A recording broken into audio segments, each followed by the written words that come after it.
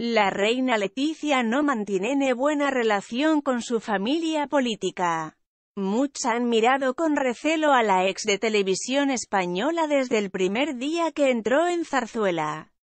No la consideraban digna de ser la esposa del heredero de la corona de España, Felipe VI.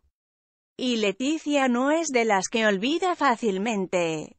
Esta animaversión la hemos visto, por ejemplo, en el famoso episodio ocurrido en la misa de Pascua celebrada en la Catedral de Palma en 2018.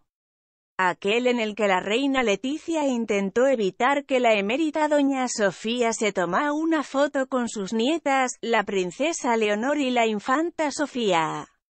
Una estampa que en Diario Gol te invitamos a vivir una vez más.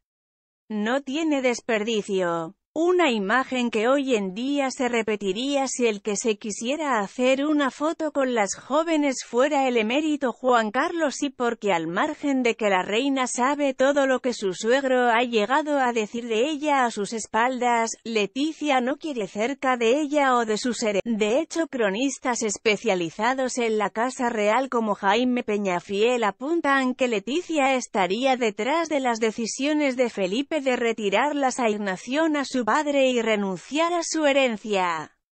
Porque Leticia no quiere que la imagen que está generando el ex jefe de Estado afecte de algún modo a su hija o a su futuro reinado. No quiere que se relaciones a Leonor con el emérito. Y no es la única.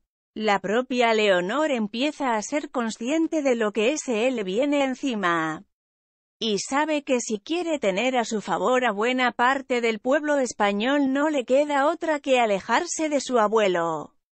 Ni encuentros, ni fotos, ni llamadas. Y así se lo ha pedido a sus padres.